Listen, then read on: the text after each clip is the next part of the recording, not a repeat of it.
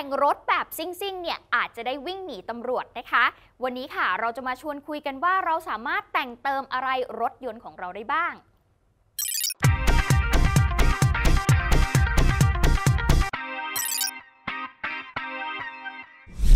พอดแคสต์รีวิวกับรายการ Rapper Royer นักกฎหมายสายแรปวันนี้นะคะ เราจะมาว่ากันด้วยเรื่องของการดัดแปลงสภาพรถ หรือว่าการแต่งรถค่ะ ว่าแต่งยังไงไม่ให้ผิดกฎหมาย ข้อแรกเรื่องป้ายทะเบียนพี่ต้องไม่ตัดหืมห้ามติดเอียงเอียงๆต่อเติมหรือว่าจะเอาไปดัดห้ามดัดดัดแปลงไม่ได้เพราะถือว่าเป็นเอกสารรัฐอ๋อติดไว้ดีๆนะพี่ห้ามปกห้ามปิดต้องเห็นชัดๆ กระโปรงหน้า นี่คาร์บอนใช่ไหมพี่ ใช่น้อง carbon fiber สวยปะอันนี้พี่ทำอย่างดี สวยนะครับ แต่ผิดกฎหมายครับพี่อ้าวต้องแจ้งขนส่งให้รู้เพราะเขาถือว่ารถเราเปลี่ยนสีนะแล้วแบบนี้ พี่ดอมต้องทำยังไง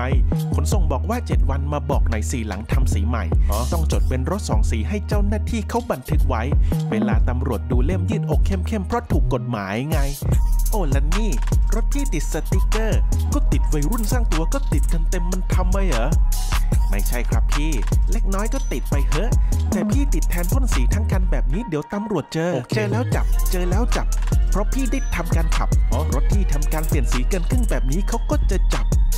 ถ้าอยากทำสีต้องแจ้งขนส่งหน่อยครับ โอเค จะพ่นหรือติดสติ๊กเกอร์พี่ต้องไม่เบลอเปลี่ยนสีโดนปรับนะ ส่วนเรื่องต่อมาระวังจะอายเพราะเป็นเรื่องล้อ เฮ้ยน้องพี่ไม่ตลกใจเย็นพี่ดอมพี่อย่าเพิ่งท้อ เพราะรถพี่ล้อไม่เกินบังโคลนตรงนี้ถูกต้องแล้วเนาะ ได้หมดขอบเล็กขอบใหญ่แต่ว่าต้องไม่เกินบังโคลนล้ออืม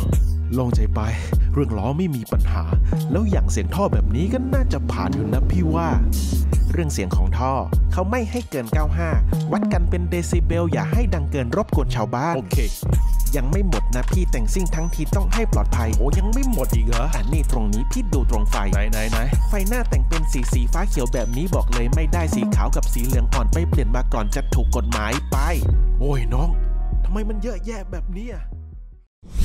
ติดตามรายการ Rapper Royer นักกฎหมายสายแรปกับตอน แต่งซิ่งอย่างเฟี้ยว ระวังได้เลี้ยวเข้าโรงพักได้นะคะ ที่เว็บไซต์ www.thaipbspodcast.com ค่ะรือฟังผ่านแอปพลิเคชัน Thai PBS Podcast นะคะ ดาวน์โหลดได้ทั้งระบบ iOS แล้วก็ระบบ Android ค่ะ หรือสามารถฟังได้ผ่านพอดแคสต์ในช่องทางต่างๆ ที่คุณกำลังรับฟังอยู่ ยังมีอีกหลายเรื่องราวที่น่าสนใจ ติดตามกันได้กับพอดแคสต์รีวิวค่ะ